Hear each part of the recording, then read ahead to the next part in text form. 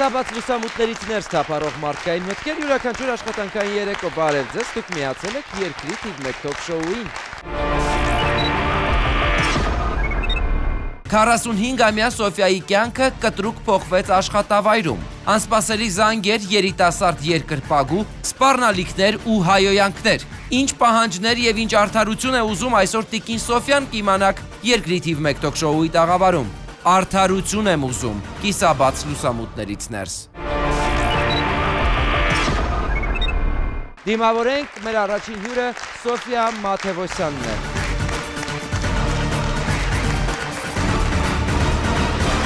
Բարև ձեզ։ Բարև ձեզ։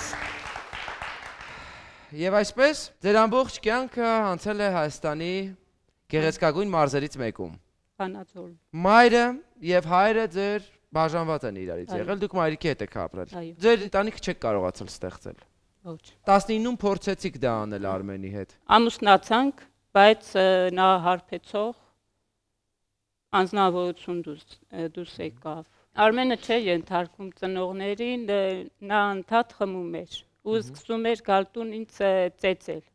Ծանոթ չէիք նորմալ Արմենի հետ մինչև Ծանոթացել էինք յուղ գնալու ժամանակ, գալուց գնալու ժամանակ ծանոթացել էինք, այդ ընթացքում տեսել էին ինձ հավանել։ Ամուսնացա Արմենը մի 2-3 ամիս նա հենց նորմալ իրան պահեց, Ահա։ դրանից հետո սկսեց խմելը։ Ընկերների հետ ընկավ ու սկսեց խմելը։ Ը, Շատ ժամանակ ուշ էր տուն գալիս ու ծնողները անհանգստանում էին։ Անհանգստանում էին, ասում էին աղջիկ ջան, ամուսինը տուն չեկավ, ի՞նչն է պատճառը, ասում էի, չգիտեմ։ Մինչ Արմենի հետ ընդհանուր ամուսնական զույգ լինելը Արմենը նույն վարքի է եղել։ Չէ, նորմալ անznավորություն էր։ Ուներ ընկերներ, որոնք խմում էին։ Ու մի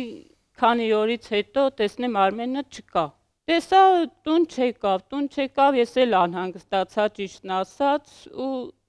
ծնողները ման են գալի։ Ման են գալի չեն գտնում։ Անցավ 2-3 օր, Արմենը տուն չի գալի։ Ու իմացանք, որ եկել է այստեղ Երևան ընկերների հետ, ուրախություն ա եղել, ինչ ա եղել, ես կոնկրետ չգիտեմ, ինչ պատճառով ա եկել այստեղ ու խմած ա եղել, խմել է։ Վերադառնալու, Վանաձոր վերադառնալու ժամանակ շատ կներեք ընկել ա Կալեդոցը, փոսն ա ընկել ու չի կայացել, հարբած ա եղել, չի կայացել իրան տիրապետի, որ փոսից դուրս գա։ Տենց 2-3 օր մնացել ա այդտեղ։ Տեսել են, որ արդեն չի շնչում։ Մարդիկ Գտել են մահացած։ Հա, մահացած գտել են, մարդիկ հավաքվել են, տեսել են արդեն մահացած։ Ու մահացած Արմենին բերեմ են։ Արմենին բերեմ են, հողարկավորությունը կատարում ենք վերջացնում, դրանից հետո տեսնեմ կեսուրս մի ալ ձևի է։ Տրամադրություն, հա, մի ալ ձևի է իմ նկատմամբ ու ես նկատեցի, ինձ ը, Պարզ դարձավ, որ նա երևի ասում է, եթե իմ տղան չկա, ուրեմն ը, դու էլ իմ տանը որպես ինչ։ Ես թողել եմ եկել իմ տուն, մեր տուն։ Թողի եկա մեր տուն, դրանից Իսկ մայրիկը ոնց վերաբերեց ձեր որոշմանը ի վերջո։ Մայրիկը ճիշտն ասած ընդունեց, որպեսզի իր աղջիկ անբախտացած աղջիկ ընդունեց։ Դրանից հետո ես տանը չէի կամ ամբողջ օրը նստեմ, ընդունվեցի կայ ֆաբրիկայում։ Կայ ֆաբրիկայում ընդունվեցի, աշխատում էի ու այդ ընթացքում հանդիպեցի Արման անունով մի երիտասարդի։ Հանդիպել է սենց նա զանգով իմ հետ սկզբից ծանոթացա։ Որպեսով զանգեց ձեզ։ Ինձ զանգեց մի անznավորություն նա եմ տեսնեմ ճիշտն ասած համարը անծանոթ էր, բայց ես միացրի հեռախոսը ու հարցրի ասիովա թե Արմանն է։ Ասի Արմանը ով է։ Թե ուզում եմ հետը ծանոթանամ։ Ով էր բայց Արմանը։ Արմանը մոտակա ֆաբրիկայի մոտակա շենքի ապրողներից է։ Ուրեմն իմ հետ աշխատում է Կայնե անունով մի աղջիկ։ Այդ Կայնեն ուրեմն մայրն էլ է իմ հետ աշխատում այդ ընթացքում Կայնեն էլ։ աշխատանքը սկսվելու ժամանակ հոսքագծի հենց վերջում, ես սկզբում եմ աշխատում, հոսքագծի վերջում մի անտանելի աղմուկ ա բարձրացել, էլ չպատմելու։ Այդ աղմուկի հիման վրա սկսեց ահավոր գլուխս ցավալը։ Իմ պայուսակի միջից հանեցի մի հատ գլխացավի դեղ խմեցի ու անցավ մի 10-15 րոպե, տեսնեմ գլուխ գլխից ցավը մի քիչ դադարեց դաթարեց աշխատում էի։ Նույնից սկսվեց այդ բռնկվելը այդ հոսքագծի աղմուկը։ Նույնից գլուխը սկսեց ցավալը այդ աղմուկի հիման վրա։ Հետիս աշխատող կայներ մայրը ասավ՝ մի հատ դեղ տամ խմի գլխացավի։ Ասի հասմիկ դուտե ասի դուր խմեմ, չեմ կարամ, այ գլուխս ցամա չեմ կա աշխատեմ։ Դեղը խմեցի Այդ դեղը խմեցի 5 րոպե չանցած ավելի վատացա այդ դեղի հիման վրա։ Ահա։ Վատացա ու ինձ կորցրեցի, էլ չեմ հասկացել, որտեղ եմ, ինչ եմ, ինչ հա կատարվում իմ հետ։ Շտապ օգնությունը եկավ, առաջի բուժ օգնությունը ցույց տվեց ու Ֆլորանը բրիգադիրս ասավ, ուզում ես տուն գնաս, ասի հա Ֆլորա ջան, ուղեկցեք տուն, ես տուն գնամ։ Հետիս աշխատող մի հատ Ալինա կար։ Ալինան ու տեխնոլոգը ուզեցին ինձ տուն ուղեկցեն։ Տունը ուղեկցեցին ոչ թե Ալինան, այլ Կարինեն ու Գրետան տեխնոլոգը։ Անցել է երկու ժամ, տեսնեմ հերախոսներ չկա։ Ասի աշխատանքից տեղն եմ թողել։ Զանգեցի Ալինային, Ալինային զանգեցի, ասի Ալինա ջան, հերախոսներս թողել եմ այդտեղ, հետդ կբերես։ Հերախոսներս վերցնելու ժամանակ Ալինայի ձեռքից կայնեն վերցնում է վերցնում է համարներից վերցնը այդտեղից ու տալիս նորից Ալինային։ Ալինան բերում է տուն։ Բերում է տուն անցնում է երկու երեք օր սկսում են արդեն զանգահարելը։ Միջադեպից հետո ձեզ անընդհատ սկսում են զանգել։ Ինձ անընդհատ սկսում են զանգել։ Ովքեր էին։ Սկզբի զանգող եղել է Արմանը։ Հետո Դրանից հետո անանուն արդեն հերախոսազանգեր են գալիս։ Ինչ նպատակով էին ձեզ զանգում ժամադրություն էին անում, հայհոյանքներ էին տալիս։ Համ ժամադրում էին, համ հայհոյում էին։ Հա, եթե չժամադրվեց, ձեր տան տեղը գիտենք, կգանք ձեր տուն։ Ահա։ Ասի ես ժամադրվելու կարիք չեմ զգում ձեր հետ, դուք ովքեր եք։ Ու չժամադ Ու քանի այդպիսի զանգ ստացաք։ Ահա որ զանգեր, ես այդ հեռախոսահամարները լրիվ բոլորը իմ մոտ գրանցել եմ։ Ու բոլորը ձեզ ժամադրում էին։ Բոլորը ժամադրում էին ու ոչ մեկի հետ ես չեմ ժամադրվել։ Ինչի համաձայնեցիք հենց Արմանի զանգին պատասխանել։ Արմանը հենց սկզբի զանգերից մեկն էր, հենց սկզբից զանգեց ու ասավ ուզում եմ հետը ծանոթանա։ Ասի Արման քո տարիքը ինչ տարիքի ա կասես, թե 29 տարեկան եմ։ Ինչ պիտի կապեր 45-ամյա Սոֆիային եւ 29-ամյա Արմանին մենք իմանանք փոքրիկ դաթարից հետո։ Այսօր շոկ է մեզ սպասվում, հերու չգնար։ Երկրի թիվ 1 թոք շոուն բացել է իր դռները բոլոր նրանց արջև, ովքեր օգնության, սեփական պատմությունները, խնդիրները եւ կարծիքները բարձրաձայնելու կարիք ունեն։ Բոլոր նրանց, ովքեր խճճվել են կյանքի բարդ իրավիճակներում։ Բոլոր նրանց, ովքեր հուսահատվել են, ում կյանքը իրականության ու ստի մարտադաշտ է դարձել։ Մենք պատրաստ ենք օգնել Պոլիգրաֆ սարքի միջոցով ճշմարտությունը բացահայտելով 99.9%-ով։ Եվ բոլոր նրանք, ովքեր ցանկանում են հենց տաղավարից հետևել իրադարձությունների զարգացմանը, մասնակցել նկարահանումներին, ունենալ հնարավորություն հենց տաղավարում արտահայտել սեփական կարծիքը, կարող են զանգահարել մեզ եւ գրանցվել։ Բոլորին երջանկություն, goodbye։ Իսաբաց լուսամուտներ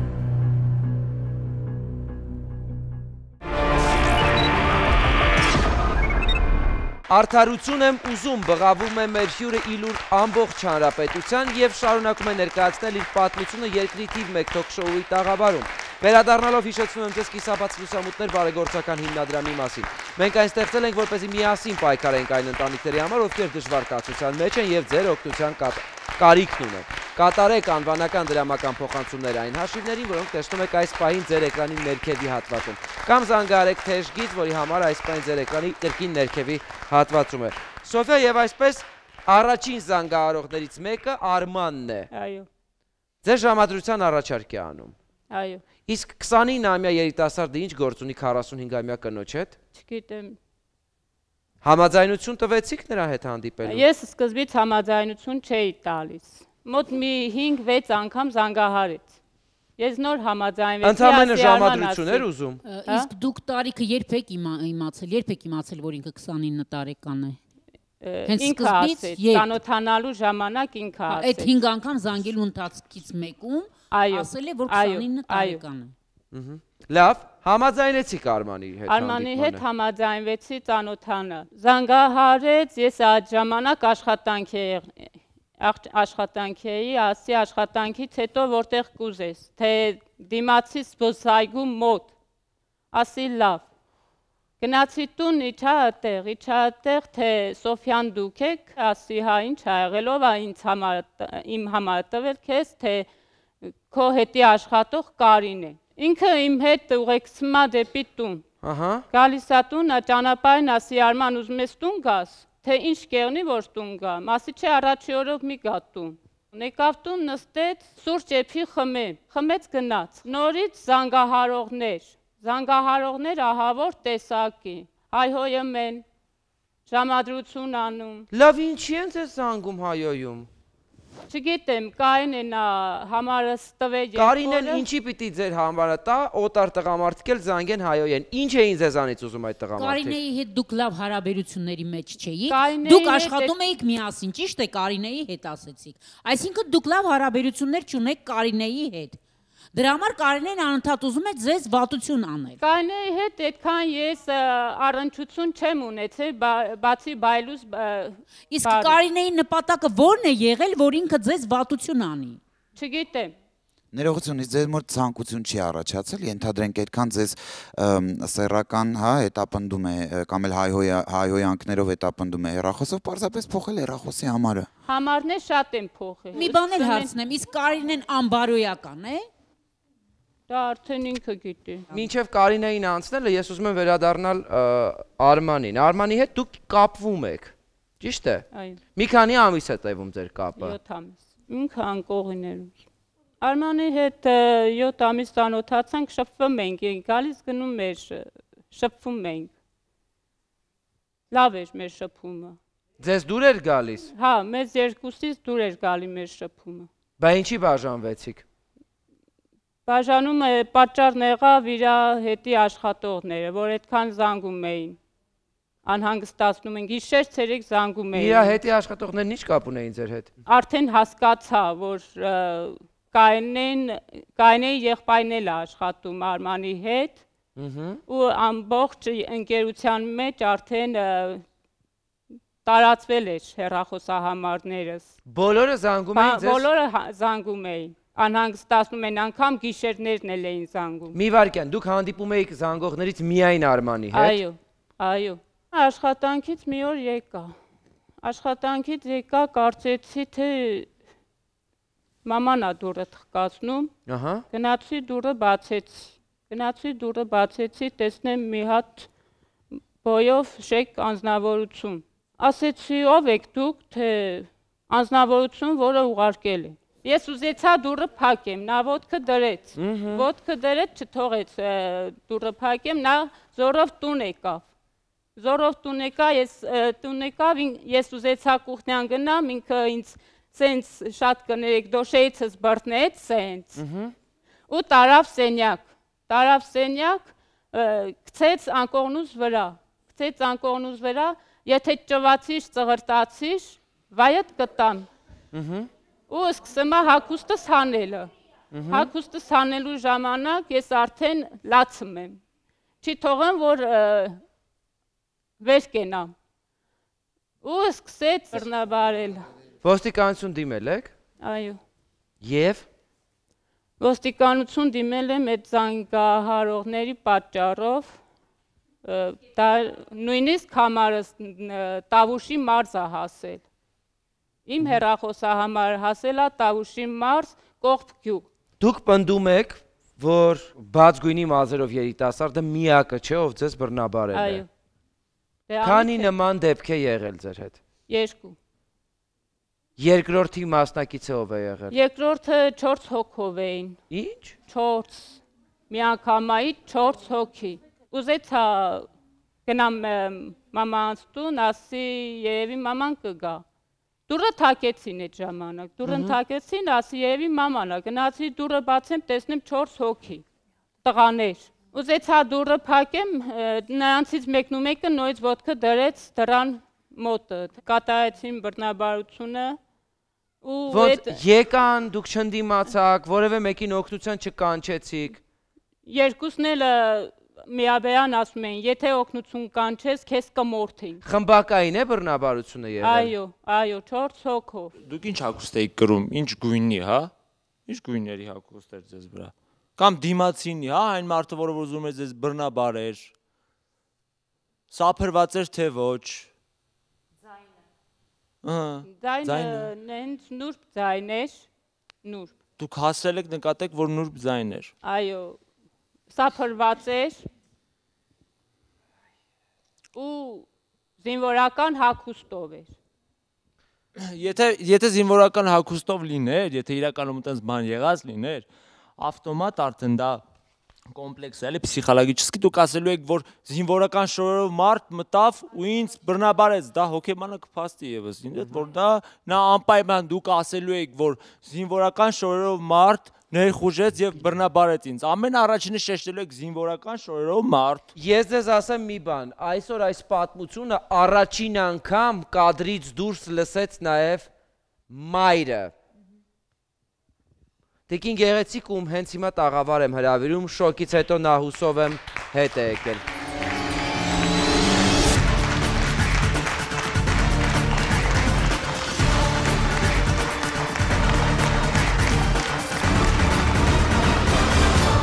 Բարի երեկո տիկին գեղեցիկ համեցեք։ Դուք նախնական զրույցում ասում եք, որ տեղյակ եք այն մասին, որ սպառնալիքներ, վիրավորական զանգեր ձեր աղջիկը հերախոսի վրա ստանում է։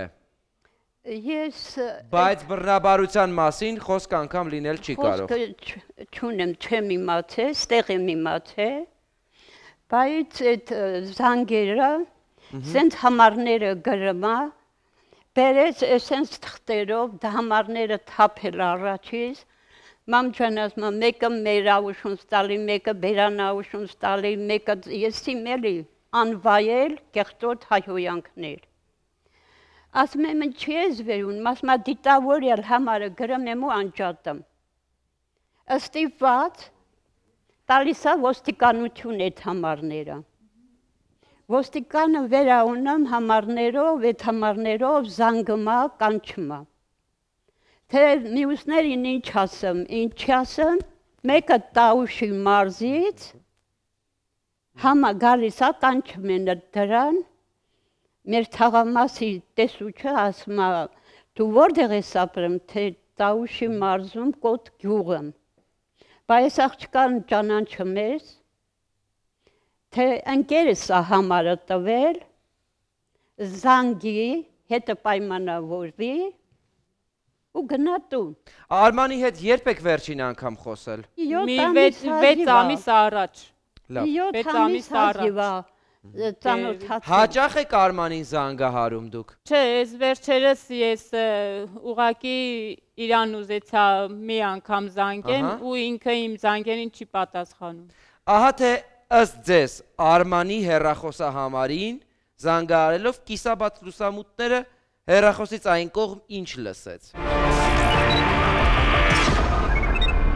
Արման, Արման,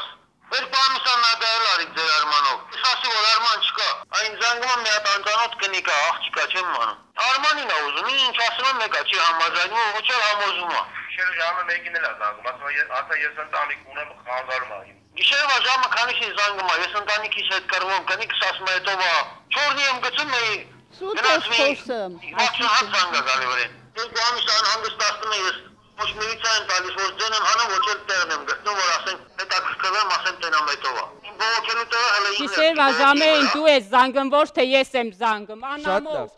Ձեզ ծանոթ էր ձայնը։ Այո։ Ով էր։ Արմանի հայրը Արմանի հայրը անունը գիտեք։ Աշուտ, աշուտ։ Աշուտ։ Անձնավորությունը մեզ ներկայացավ ներկայացավ Միշա Սեյրանյան։ Եթե կողքից ուշադիր լսեցիք, ինչ որ մեկը պարոն Միշային հուշում էր,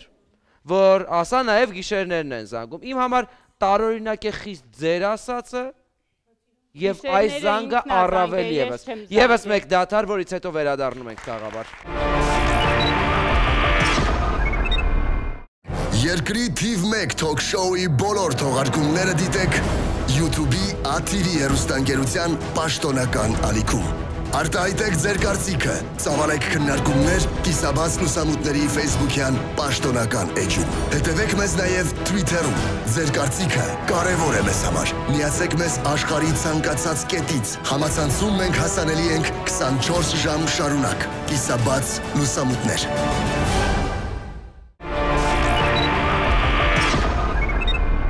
Արդարություն եմ ուզում, ասում է մեր հյուրը, կիսաբաց լուսամուտների եթերում։ Եթե մեզ նոր եք միացել, բարի երեկո, ծանոթացեք թեմային։ 45-ամյա Սոֆիայի կյանքը կտրուկ փոխվեց աշխատավայրում։ Անսպասելի զանգեր, երիտասարդ երկրպագու, սպառնալիքներ ու հայոյանքներ։ Ինչ պահանջներ եւ ինչ արդարություն է ուզում այսօր Տիկին Սոֆյան կիմանաք երկրի թիվ 1 տոք շոուի տաղավարում։ Արդարություն եմ ուզում, կիսաբաց լուսամուտներից ներս։ Տաղավար վերադառնալով ես ուզում եմ հրավիրել մեր գլխավոր հյուրի քրոջը եւս այստեղ, Տիկին Սիրարփին։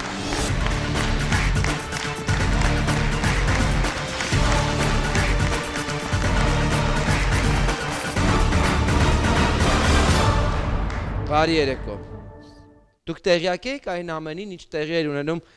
քրոջ ամենաուղիղ իմաստով անձնական կյանքում։ իրադարձությունը ես տեղյակ չեմ։ Այդ ինչ որ Դուք առանձին եք ապրում մայրիկի հետ, ձեր քույրն առանձին բնակարանում։ Այս վերջի իրադարձությունները ես տեղյակ չեմ, բայց այդ զանգերին տեղյակ եմ։ Ինձ Դուք ինչքան- ականատես եղել եք, թե միայն քրոջ պատմածով գիտեք, որ զանգում եւ հայոյում են։ այստեղ եմ իմացել այդ զանգերը, հայհոյերը եւ այլ բաները։ Դուք ինչ եք տեսել։ Ոչ թե ձեզ պատմել են։ Չէ, չեմ տեսել ոչ մի։ Չեք տեսել, որ ոչ մի տղամարդ նրա բռնի ուժով Չէ, որևէ մեկը նրանով հետաքրքրվի։ չէ։ Կասկածներ չեք ունի։ Ընդամենը Սոֆիայի խոսքերն են։ Բայց զանգել լսել եմ, քանի անգամ մեր տանն ա եղել, ասենք 8 ժամ ա եղել, ձեր հաղորդումը նայելուց ենք եղել, զանգել են։ Ու անջատել ա ինքը։ Ասել եմ հետո Վարսոֆո, ասել ա, չգիտեմ, անհանցանոթ համարները։ Հավատում եք ձեր քրոջ պատմածը, որ իբր թե իրան բռնաբարել են։ Ձեր քրոջը, ինչպես նա է պնդում, անհասկանալի 5 տղամարդ է բռնաբարել։ Դե մի հրաչ ջան, եթե Կարինեն այդ իր աղբոր հետ համախմբված համարը տվել է աղբորը, աղբերներ տվել է ընկերներին, Այսինքն ինձ Ես դուս ա մի գալի բան Ձեր աղջիկը խնդիրներ ունի առողջության հետ։ չէ, չէ։ Դու մտավոր Ուղղակի ես ուզվեցի այդ պահին հրաչ ջան, Չէ, ես բայց մի րոպե, ամուսնալուծությունից հետո ինձ ընտանիքի անդամներից մեկը թողասի, ինքը ինչ հոգե վիճակում էր։ Ամուսնալուծությունից հետո, Շատ որ շատ լավ, լավ, հա։ էլ նորմալ չի։ Տիկին գեղեցիկ։ Սոֆիա, ներեցեք։ Այդ տղաները, որ եկան ձեր տուն ձեզ բռնաբարելու, դուք արդեն շփվում էիք ձեր ընկեր Արմանի հետ։ Ոչ, ոչ։ Ձեր ընկեր Արմանը ամուսնացած էր ընտանիք ունի, որովհետև զանգահարողը նոր որ կողքից հուշում էր, որ զանգում է կնոջը կնոջս հետ ակրվում եւ այլն, որպեսի փոխանցի խոսող խոսողը։ Տիկին Սոֆիա նորից եմ հարցը կրկնում Աննայի, հա։ Մինչև Արմանն է տեղի ունեցել այդ բռնաբարությունների շարքը։ Արմանից հետո։ Արմանի հետ ծանոթացաք, հարաբերությունները ձեր 7 ամիս տևեցին։ հարաբերությունները խզվեց արդեն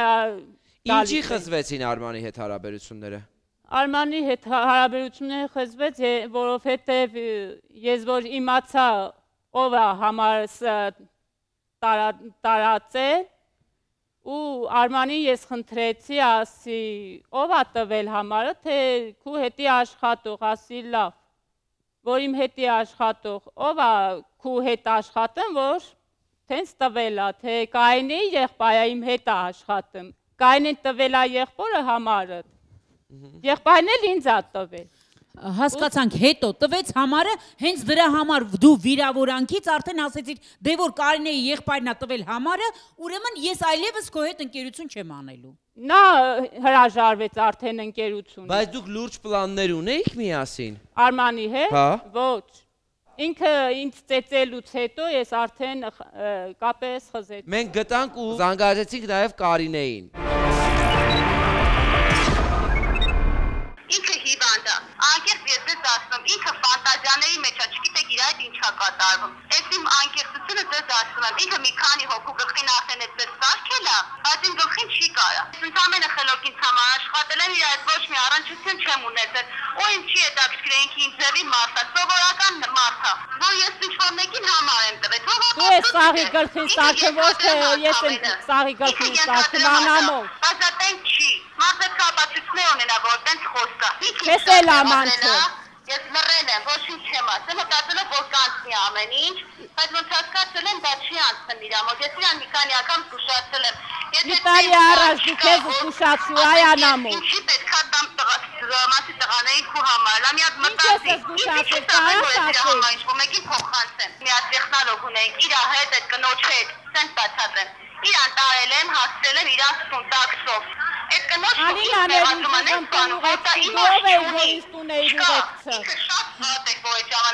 տարանք տուն։ Բայց ով է որ ինձ տուն ուղեկցեին։ Որից այդ կնոջ հետ ես իր համարը բաժանել եմ։ Նա մեծ 60 տարեկան թոշակառու կին է։ Իրան ամբողջ քաղաքը ճանաչում է։ Թե ինքը ով է։ Ինքը շատ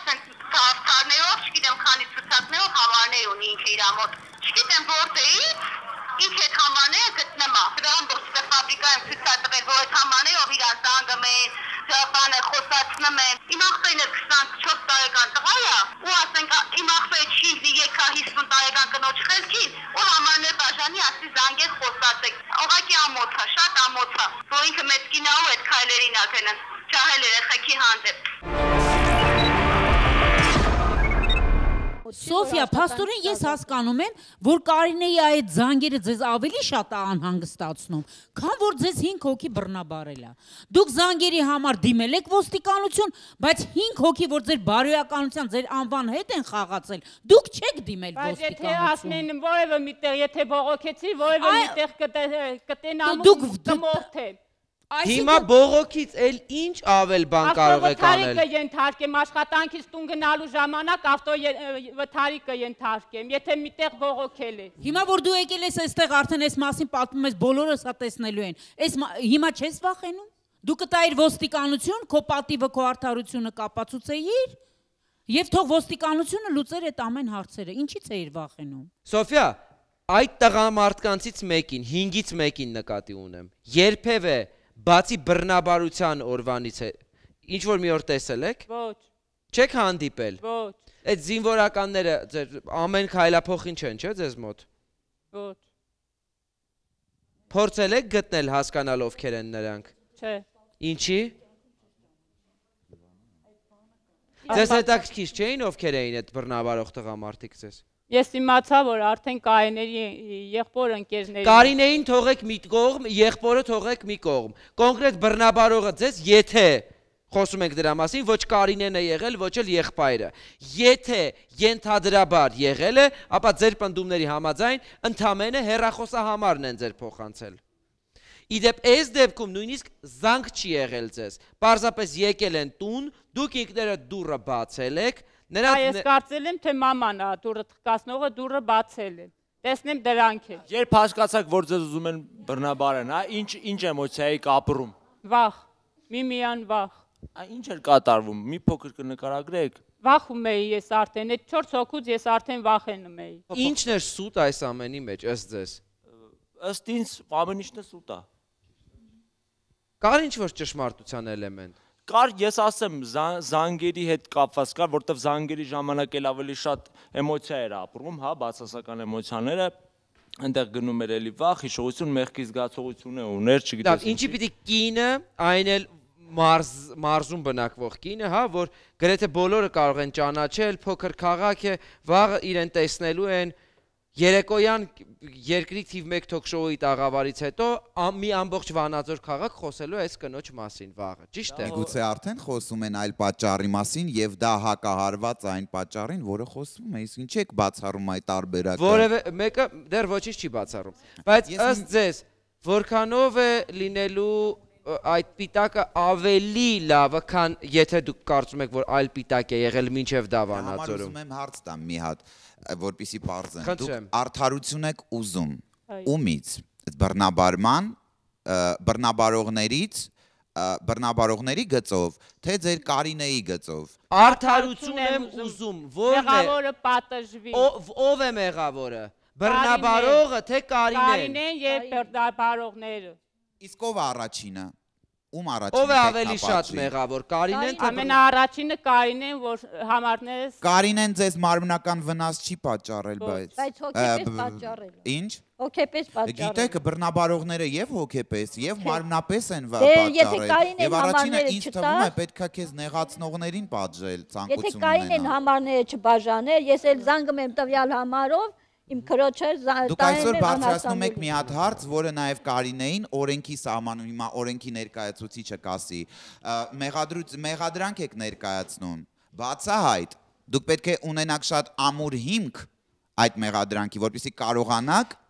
պաշտպանել ձեր շահերը։ Հակառակ դեպքում դուք զրպարտանքի համար եք մեղադրվելու։ Դուք այդքան պատասխանատվություն եք վերցնում ձեզ վրա։ Դուք կարող եք կոպիտ ասած դրա տակից դուրս գալ։ Այդ համարները Ես ներողություն։ Դուք նոր եք իմացել մեր պես։ Դրա համար ես դիմում եմ կոնկրետ հերոսուհուն։ Դուք պատրաստ եք նման պատասխանատվություն ձեզ վրա վերցնել։ Դուք մինչև եք կարող եք տանել ձեր մեղադրանքները ապացույցներով եւ փաստերով։ Ապացույցը են ասվում, այլ է Հերախոսահամարները, բռնաբարությունը լրիվ Բռնաբարություն ինչով կարող Բռնաբարությունը ինչով է ապացուցել։ ապացուցվում ձեր։ Կարող եք ինձ մի փաստ բերել, Սոֆիա, որ որով ապացուցված է, որ ձեզ ինչ որ մեկը, չեմ խոսում 5-ի մասին, բռնաբարել են։ Դե այդ բռնաբարության պատճառով ես եմ մեղավոր, թե ոստիկանությունը չեմ դիմել։ Հրաչ ջան, բայց այդ տղաները ոնց իմացան տուն Իմ տան տեղը ոնց իմացան։ Կարելի Կարելի Ահա կպարտադիր է որ Կարինեն ասած լինի, կարող է մեկ ուրիշն էլ ուզում ձեր զվարճություն անի։ Բացի Կարինեի Ներողություն Կարինե- եւս մեկ դաթար մեր եթերում թող կրքերը հանգստանան եւ մենք վերադառնանք թաղավար։ Կիսաբաց լուսամուտներ հիմնադրամը օգնում է հարյուրավոր ընտանիքների։ Ոչ մի խնդիր, որ երբևէ բարձրաձայնվել է մեր թողարկումներում, անպատասխան չի մնացել։ Եվ հիմա մենք կոչ ենք անում. ցրել անտարբերությունն ու անverջ բողոքելու փոխարեն գործել, օգնել այն մարդկանց, որոնք ունեն դրա կարիքը։ Փրկել մեկ ճակատագիր, օգնել մեկ երեխայի, սրբել մեկ մոր արցունքներ։ Չկա ավելորդ օգնություն, չկան փոքր նվերներ, կա ցանկություն, որը միավորում է մեզ։ Կատարեք դրամական անվանական փոխանցումներ մեր հաշվեհամարներին։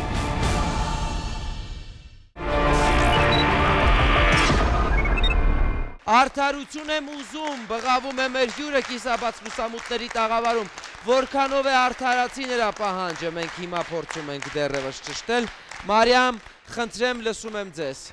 Իրականում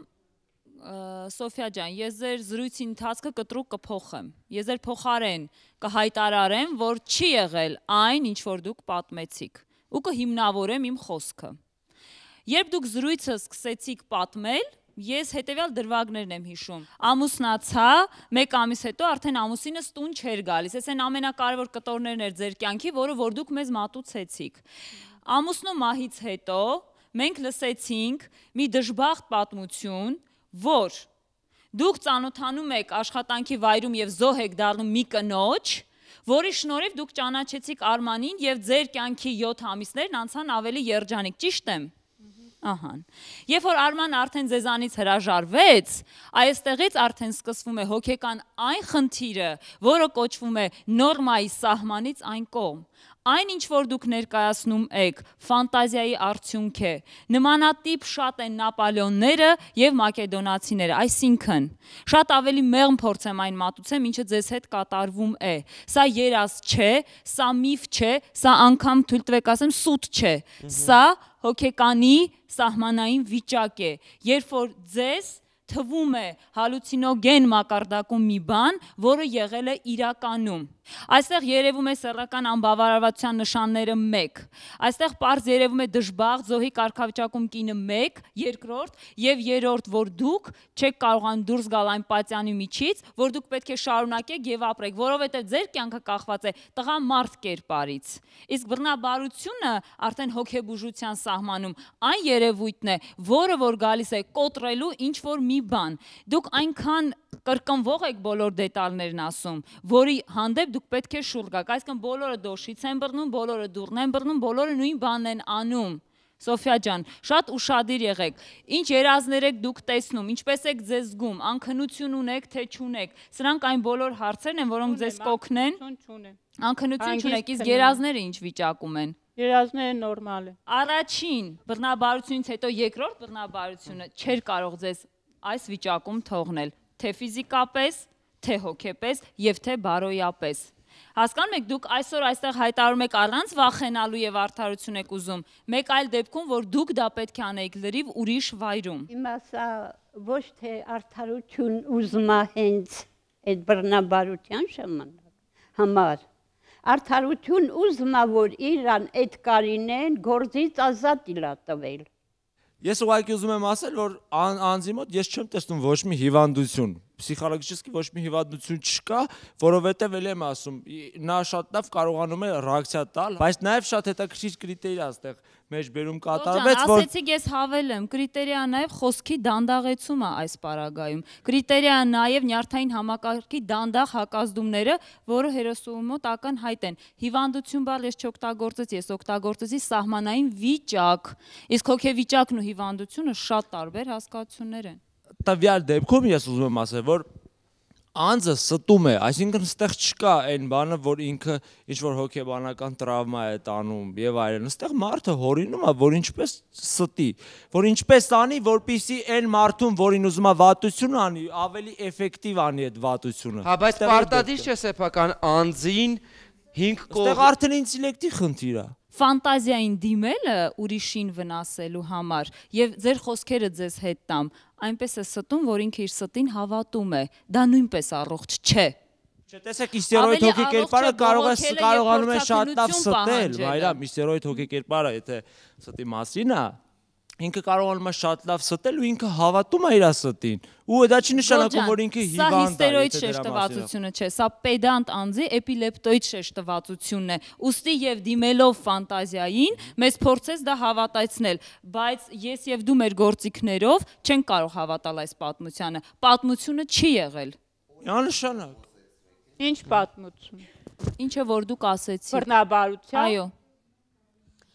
ես ով ինչ ասեց իրենց կարծիքն է, ես հիմա ուզում եմ Սոֆիա ասել մի բան։ Նայեք, երբ որ առաջի տղամարդը եկավ եւ ձեզ բռնաբարեց, հնարավոր չի,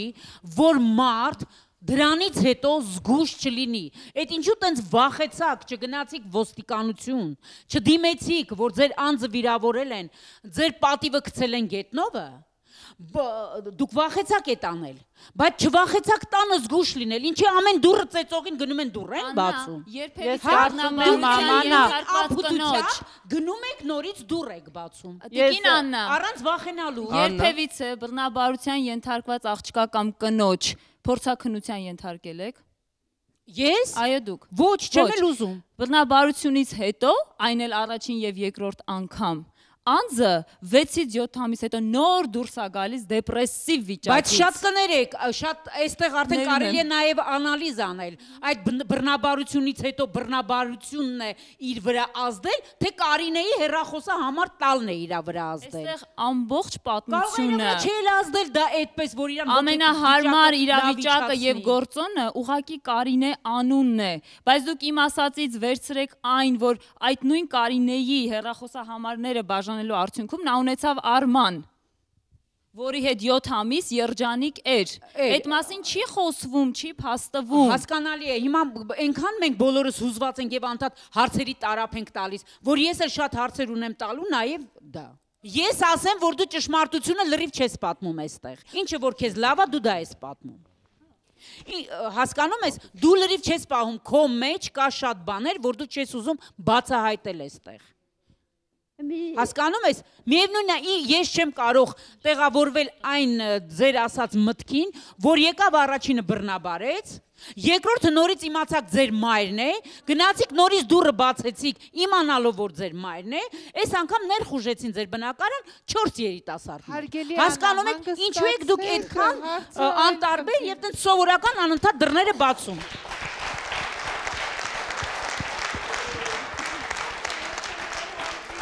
Մեր գեղեցկատես տատիկը փրկեց իրավիճակի իհարկե, ասելով, որ խթիր ինչու՞մ է այսօրվա կայանում։ Դա էլ հաստատ չի, Լիլի ջան, ես առաջին անգամ եմ լսում, որտեվ Տիկին Սոֆիայի դեպքում գլխավոր հյուրի, նա երբեք չի բարձրաձայնել այդ մասին, որ ինքը աշխատանքի հետ կապված խնդիր ունի, նույն այդ Կարինեի պատճառով։ ամբողջ հոսքագիծը գծի բանվորներին վախացրել է եթե պիտի ստորագրել Անհատական մոտենում էր աշխատողներին հրաչ ջան։ Եթե դու Եթե դու չես ստորագրում դիմումի տակ, Որ ձեզ հանեն որ աշխատանքից։ ինձ հանեն աշխատանքից, շատ Կարինեն կներեք- կիլլեր Ինչ պատճառաբանությամբ։ Կարինեն կիլլեր էր, որ բոլորը վախենում էին, տենց ստորագրում էին։ Ինչ էր ձե- ինչ էր պատճառաբանում։ Ինչի են ձեզ աշխատանքից ազատել։ Ինչի տակ էին ստորագրում։ Սա որ դիմում է ոստիկանություն, ոստիկանությունը Կարինեի անուն տալիս է, որ իմ համարը վերցրել է բաժանել, Կարինեին կանչմեն, որ ինչի ես այդ գործողությունը դու կատարել։ Դիրեկտորը գալիս է սրա հետ վեճի մեջ համտնեմ, թե հիվանդեր է պահը։ Ինչի՞ չի ես ոստիկանություն տվել, որ Կարինեն տայել են քննմեն։ Դիրեկտորը գործից հրամանը գրմա գործից ազատում։ Մի ամիս էսա 6 օր է սա տանը նստած է։ Պարզապես այստեղ տեղի ունեցել նորից ը, կրկին եւս մեկ անգամ օրենքի խախտում, տվյալ դեպքում աշխատանքային օրենսգրքի։ Ես ասեմ, որ Եվրոդատարանը ունի նմանատիպ մի վճիռ, ը, որ աշխատանքից աշխատակիցների դյումի հիման վրա ազատել են մի անձնավորության, որը հիվանդ է եղել ձիահով։ Եվրոդատարանում դատը Հայաստանում նկատի ունեք։ Այո։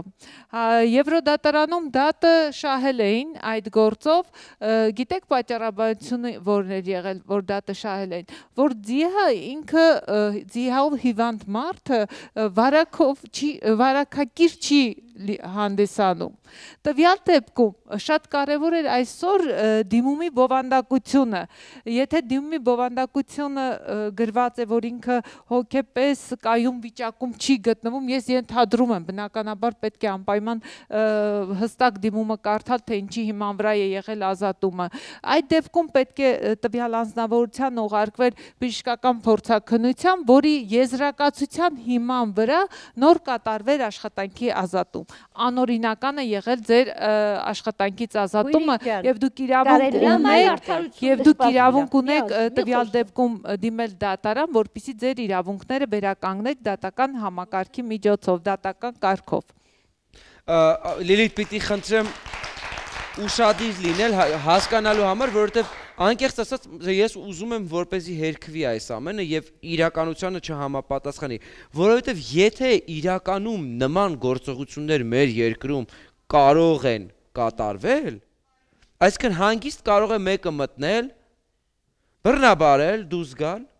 այնուհետ եւս 4-ը գան, բռնաբարեն դուրս գան եւ չգիտես թե քանակը որքանով կա- կավելանա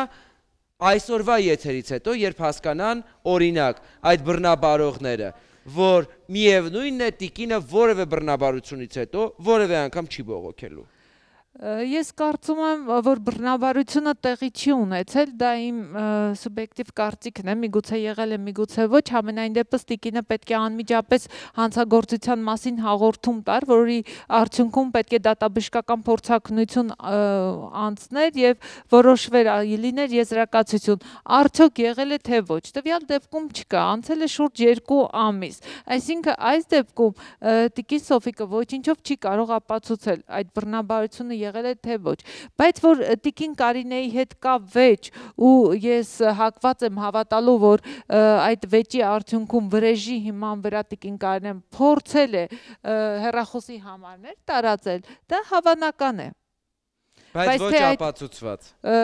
Արդեն ասեցին, որ ոստիկանությունը ապացուցել է, դա շատ հեշտ է, հեռախոսի համարները բնականավերծանումները կարող էին հանել, Լիլիթ, ես կարծում եմ, որ մենք դեռ հնարավորություն ունենալու ենք այս թեմայով շարունակություն ունենալու քննարկման, այնպես որ դուք ունեք ժամանակ ծանոթանալու այն բոլոր նյութերին, որոնք մինչև այժմ հայտնի են կամ այս պատմությունը հանրային դարձնելուց հետո կդառնան հայտնի։ Սկզբում գիտեք ինչ շատ լուրջ չէր երևում թեման, բայց իսկապես բավականին լուրջ է եւ ես կարծում եմ, որ ը, Լիվաման միջազգային իրավաբանական գրասենյակի աշխատակազմը կիսաբաց լուսամուտներ բարեգործական հիմնադրամի հետ մեկտեղ անպայման հետևողական կլինի այս հարցին եւ կփորձենք բարձաբանում ցնել եւ ձեր աշխատանքից ազատվելու խնդրի շուրջ եւ նաեւ ոստիկանությունից կխնդրենք անպայման հարցման տեսքով մեզ պատասխանեն թե արդյունքը ինչ է եղել այդ հետաքննության Կարծում եմ հետաքննությունը եղել, կարճվել է գործը, որովհետև եթե քրեական գործ հարուցվեր, անպայման որևէ որոշում կամ հետագայում ընթաց կարող էր ունենալ։ Շատ լավ, շնորհակալ եմ Լիլիթ։ Նարե, լսում եմ ձեզ։ միանշանակ հարգելով ու բարձր գնահատելով իսկապես ճիշտ որակավորում ունեցող բոլոր ներկա գտնվող փորձագետների մասնագիտական, այսպես ասենք, տվյալները պետք է մի շատ կարևոր բան նշենք, որ մարդկայնորեն մենք բոլորս էլ միշտ ուզում ենք, որ վատ դեպքերը ընդհանրապես չլինեն կամ իրականությանը չհամապատասխանեն բայց եթե այդպես լիներ մենք չէինք ունենա այնպիսի հիանալի եւ կարևոր հանրային խնդիրներ վերհանող հաղորդում ինչպիսին է կիսաբաց լուսամուտները եւ այս պարագայում շատ կարևոր է դա որ հասկանանք իսկ արդյոք դա իսկապես հնարավոր տարբերակ է լինել չլինելու որպի ինչպիսի եւ որպիսի պարա- պարագաներում կարող են նման խնդիրները առաջանալ եւ ամենակարևորը ինչպես կարելի է նախ կանխարգելել այդպիսի խնդիրները եւ չկանխարգելու դեպքում ինչպես կարելի է լուծել։ Եվ այստեղ մենք գալիս ենք արդեն նաև սոցիոլոգիա գիտությանը, թույլ տվեք արդեն ես այս մասով դիտարկեմ խնդիրը, որ այսպիսի խնդիրները ոչ միայն հավանական են, այլ բավական տարածված։ Հատկապես երբ խոսքը գնում է անպաշտպան ֆիզիկապես թե մտավոր առումով քաղաքացիների եւ ոչ այնքան քաղաքացիների մասին։ Եվ մենք պետք է հասկանանք ինչ կարելի է անել նախ ամենակարևորը ցանկացած ուղղությամբ այս խնդիրը քննելու։ Մենք այսօր կարող ենք միայն օգնել, փորձել աջակցել կիսաբաց լուսամուտների եւ նրա փորձագետների միջոցով փորձել աջակցել օգնել տվյալ պարագայում զոհին, որովհետեւ անկախ եղելությունից տեսնում ենք, որ իրավիճակը մարդկային ոլորտում շատ վատն է եւ այն կարող է շարունակվել։ Այդ իսկ պատճառով հուսով ենք, ինչպես դուք արդեն ասեցիք, կոչ անել եւ ոստիկանությանը եւ մնացած բոլոր պետական օղակներին բազմակողմանիորեն զբաղվել խնդրով հասկանալու համար պետք է արդյոք կնոջը օգնել հոգեբանական հոգեբուժական առումով, թե արդյոք պետք է որոնել, պատժել եւ պատասխանատվության ենթարկել ինչպես այլ գործող անձանց, այնպես էլ մարմինների, որոնք անգործունություն ցուցաբերել գործում։ Ես անկեղծ ասած բոլորի խոսքը անընդհատ ուզում էի վերլուծելով հասկանայի թե մեր փորձագետներից ամեն մեկը ինչի վրա հատկապես շեշտը դրեց։ Մի բան ինձ հաստատ հա- ինձ համար հաստատ է, որ ձեզ օգնություն պետք է։ Դեռ չեմ կարողանում կողնորոշվել հոգեբանական թե իրավաբանական։ Բայց երկուստեք էլ պիտի խնդրեմ, որ դա իրականացվի ձեզ համար։ Մարիամին եւ Լիլիթին։ Եվ միայն դրանից հետո པարզ կլինի, թե այս պատմության մեջ իրականում եղել է ֆիզիկական բռնություն ձեր հանդեպ, թե դա պարզապես հոգեբանական բռնության արդյունքն է եւ մնացածը դուք ինքներդ ձեզ համար հնարել եք։ Դուք դիտում եք կիսաբաց լուսամուտները, կհանդիպենք ցտեսություն։